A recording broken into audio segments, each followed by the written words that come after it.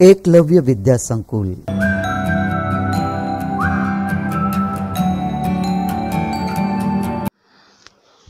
નમસ્કાર વિદ્યાર્થી મિત્રો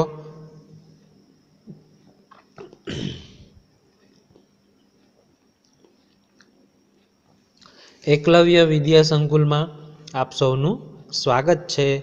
આજે આપણે ધોરણ બે, વિષય ગણિત ગમ્મત. સ્વાધ્યાય પોથી ભાગ બીજો. એ આપણે પૂર્ણ કરીશું. તો બધા વિદ્યાર્થીઓ છે, એ સ્વાધ્યાય પોથીમાંથી ભાગ બે એ કાઢે અને પૂરે. હવે એમાં આપણે કહ્યું તો કે નવમું પાઠ છે, એ પૂરતા હતા. શું હતું? તો કે મારો મજાનો દિવસ. શું નામ હતું? મારો મજાનો દિવસ. એમાં આપણે એકથી પાંચ પ્રશ્ન છે, એ પૂરી નાખ્યા હતા, તો બધા વિદ્યાર્થીઓએ છે, એકથી પાંચે પાંચ પ્રશ્ન છે એ પૂરી નાખ્યા હશે.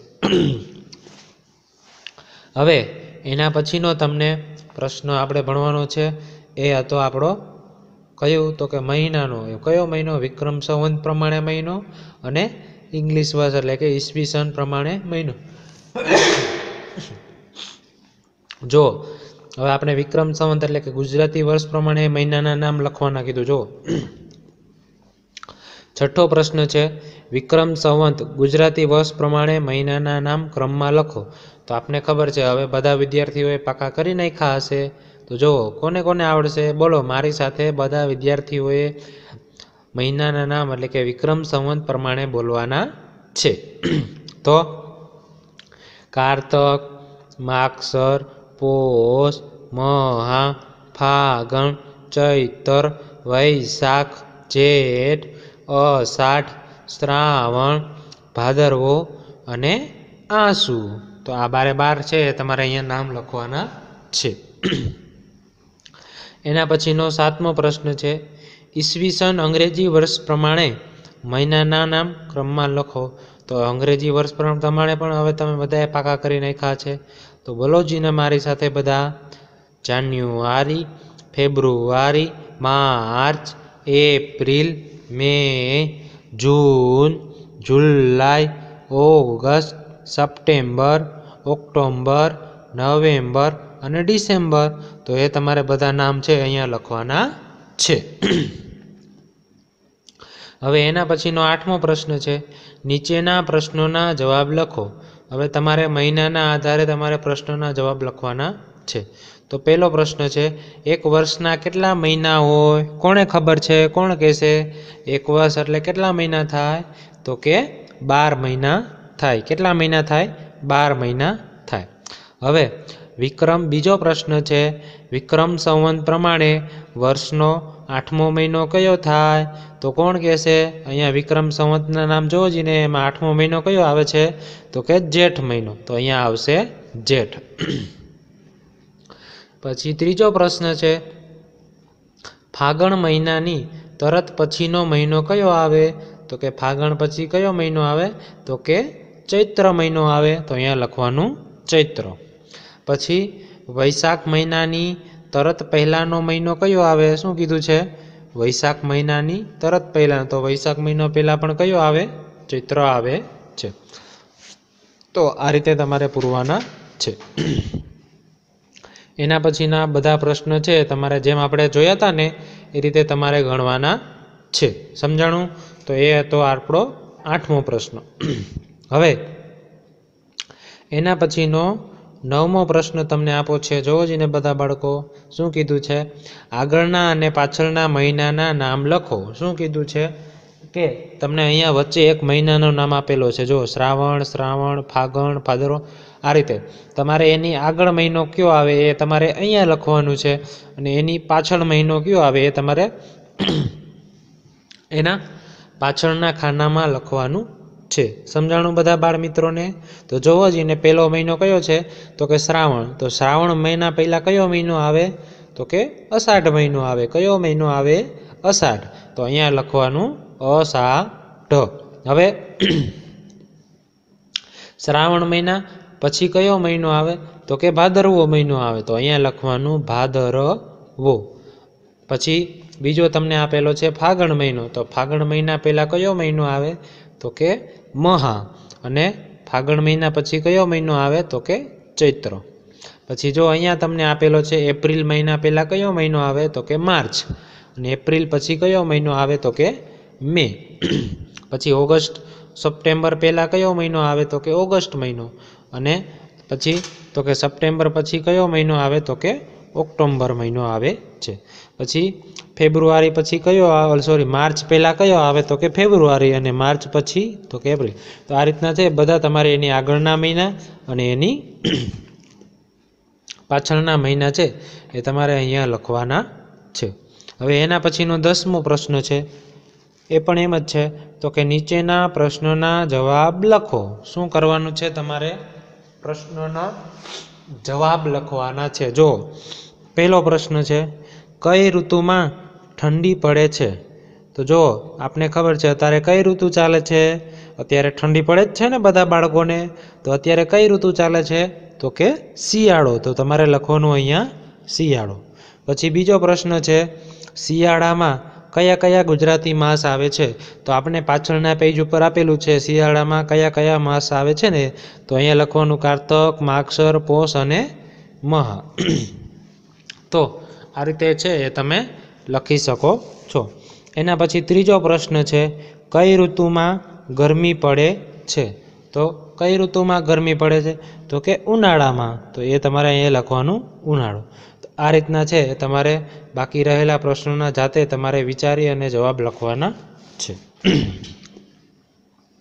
હવે, એના પછી તમને અહીંયા એક વર્ષ બે હજાર અઢારનું કેલેન્ડર આપેલું છે. જો જાન્યુઆરી, ફેબ્રુઆરી, માર્ચ એપ્રિલ, મે, જૂન, જુલાઈ, ઓગસ્ટ, સપ્ટેમ્બર, ઓક્ટોબર, નવેમ્બર અને ડિસેમ્બર. હવે આ જાન્યુઆરી આખા મહિનાના કેટલી તારીખ, કઈ કઈ વારો આવે, કયો તારીખે કયો વાર આવે એ તમને આપેલું છે. એ બધાને આધારે તમને પાછળ આપેલા તમારે પ્રશ્નોના છે, એ જવાબ લખવાના છે. તો જો એના પછીનો પ્રશ્ન એ જ છે. તો કે વર્ષ બે હજાર અઢારના કેલેન્ડરના આધારે નીચેના પ્રશ્નોના જવાબ આપો. શું કીધું છે? તમને જે આગળ કેલેન્ડર આપેલું છે ને, એના ઉપરથી તમારે પ્રશ્નોના જવાબ લખવાના છે. તો જુઓ પહેલો પ્રશ્ન. વર્ષનો પ્રથમ મહિનો કયો છે? તો મેં તમને કીધું એમ, એમાં પ્રથમ મહિનો કયો છે? તો કે જાન્યુઆરી. તો અહીંયા લખવાનું તમારે જાન્યુઆરી. એનામાં પછી એમાં જ પ્રશ્ન છે કે તે મહિનામાં કેટલા દિવસ છે? તો તમે પાછળ જોશો, તો તમને ખબર પડશે કે જાન્યુઆરી મહિનામાં કેટલા દિવસ છે? તો કે એકત્રીસ દિવસ છે. તમારે અહીંયા કરવાનું એકત્રીસ. પછી, તો કે એના પછી કયો મહિનો આવે છે? તો કે જાન્યુઆરી પછી કયો મહિનો આવે? તો કે ફેબ્રુઆરી. પછી, તે મહિનામાં કેટલા દિવસ છે? તો કે ફેબ્રુઆરીમાં કેટલા દિવસ છે? તો કે અઠ્યાવીસ દિવસ છે. તો તમારે અહીંયા લખવાનું અઠ્યાવીસ. પછી ત્રીજો પ્રશ્ન છે, આઠમો મહિનો કયો છે? તો તમે ગણશો, તો આઠમો મહિનો કયો આવે છે? તો કે ઓગસ્ટ મહિનો આવે છે. તેમાં કેટલા દિવસ છે? તો કે તેમાં એકત્રીસ દિવસ છે. તો આ રીતે તમારે છે એ, તો કે વર્ષ બે હજાર અઢારના કેલેન્ડરના આધારે પ્રશ્નોના જવાબ છે એ આપવાના છે. પછી જો અહીંયા એક પ્રશ્ન લખેલો છે, કયા મહિનાના દિવસો બીજા બધા મહિના કરતાં અલગ છે? તો કે ફેબ્રુઆરીના છે અઠ્યાવીસ દિવસ બીજા બધા મહિના કરતાં અલગ છે. પછી કયા બે મહિનામાં સળંગ એકત્રીસ દિવસ આવે છે? તો કે જુલાઈ અને ઓગસ્ટ આ બે મહિનામાં છે એ સળંગ એકત્રીસ દિવસ આવે છે. તો તમે આગળનું જે આખું કેલેન્ડરના આધારે જ તમારે પ્રશ્નોના જવાબ આપવાના છે. તો આ રીતના મેં અમુક દાખલા અહીંયા પ્રશ્નોના જવાબ આપેલા છે.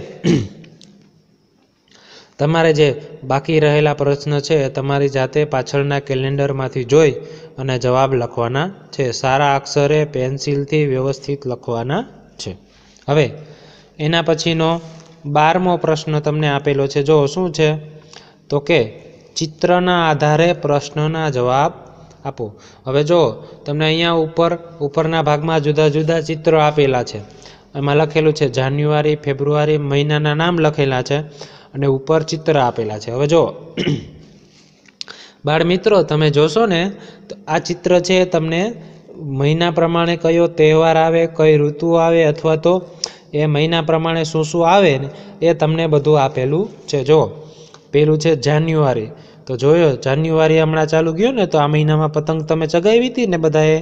તો શું આવી હતી? મકર સંક્રાંતિ. તો અહીંયા તમને પતંગ દોરેલી છે.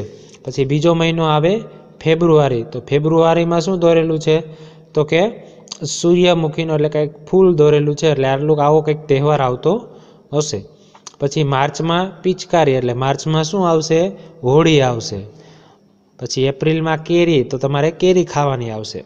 આ રીતના જુદા જુદા મહિનામાં જે જે વસ્તુઓ આવે, એના તમને ચિત્ર આપેલા છે. તો હવે તમારે એના ઉપરથી પ્રશ્નોના જવાબ લખવાના છે.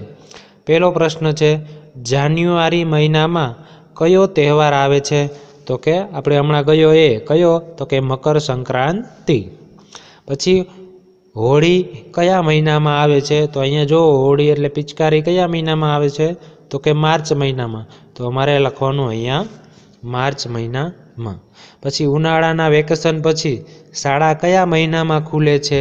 તો જો તમને અહીંયા બુક દેખાડેલી છે, એટલે કયા મહિનામાં ખુલશે? તો કે જૂન મહિનામાં ખુલશે. પછી તો કે સ્વતંત્રતા દિન કયા મહિનામાં આવે છે? તો જો અહીંયા તમને સ્વતંત્રતા દિન દોરેલો છે, તો કયા મહિનામાં? તો કે ઓગસ્ટ મહિનામાં આવે છે. પછી નાતાલ કયા મહિનામાં આવે છે? તો કે ડિસેમ્બર મહિના.